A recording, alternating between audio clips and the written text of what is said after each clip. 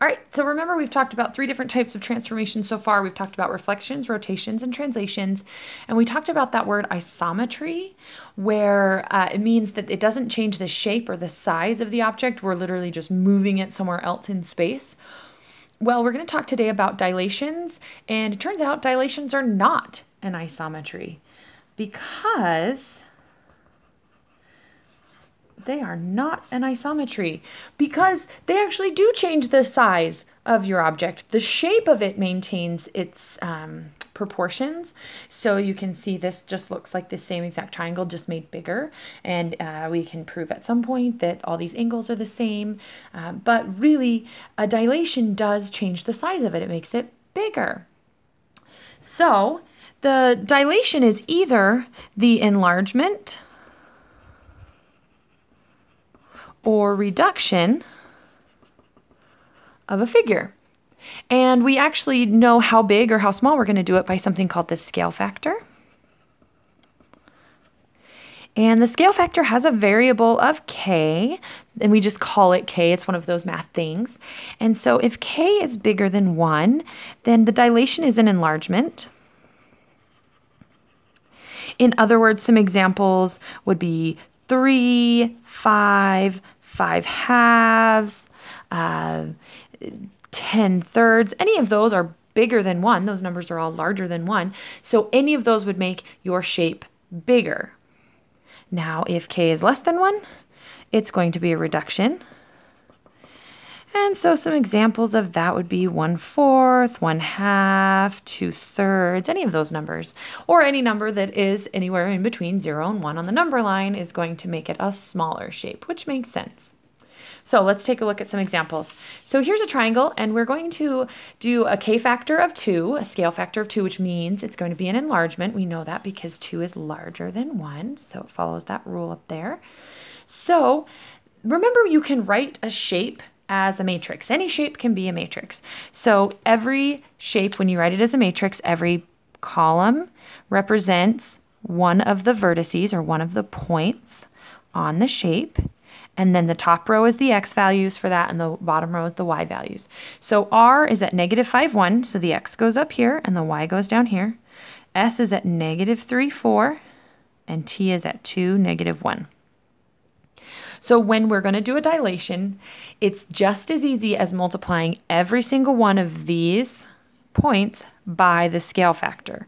Now, if we have it written as a matrix, it's even easier because that is just a scalar multiplication problem on the outside of that matrix. And you know how to do this. Remember when we do a scalar multiplier, a scale scalar multiplication of a of a matrix, it's like you distribute in. So this 2 gets multiplied by every single number. And we're going to spit out a matrix that's got r prime, s prime, and t prime. The x values are going to be on top. The y values are going to be on bottom. Well, 2 times negative 5 gives us negative 10. 2 times 1 gives us 2.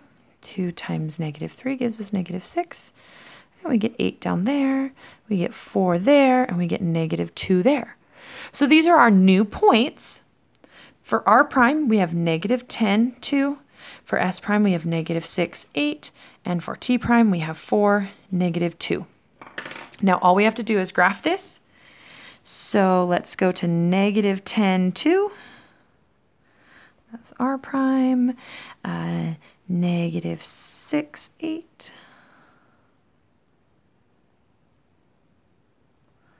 S prime, and then we have 4, negative 2, and that's T prime. Then we'll go ahead and use any straight edge you happen to have around. You know, birthday card envelope works just fine for that.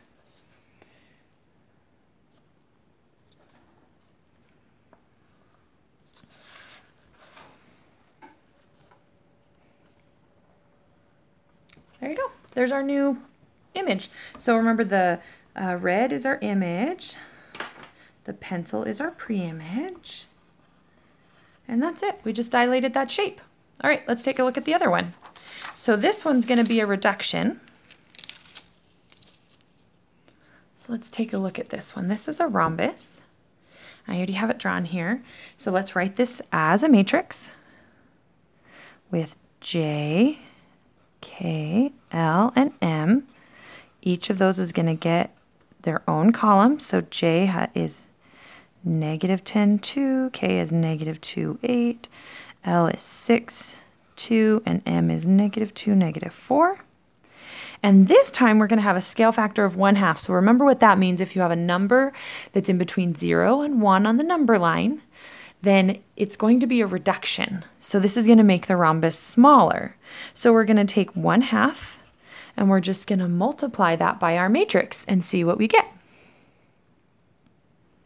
Well, 1 half times negative 10 is negative 5.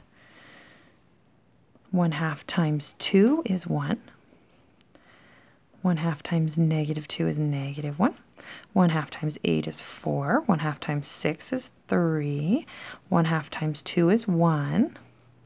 1 half times negative 2 is negative 1. And 1 half times negative 4 is negative 2. Basically, we just divided every number in there by 2. So here's our new j, j prime, negative 5, 1. k prime is negative 1, 4. L prime is 3, 1, and M prime is negative 1, negative 2. So let's graph those. 1, 2, 3, 4. Okay, 1, 2, 3, 4, 5. There is J prime.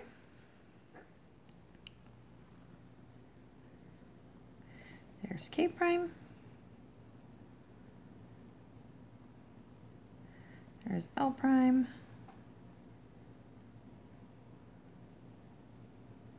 And M prime.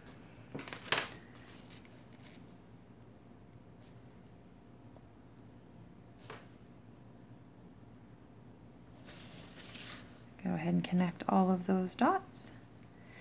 And you'll see, and we knew this, we predicted this already, that it is smaller than our pre-image. So our pre-image and our image, uh, we saw that this is a reduction because k is less than 1.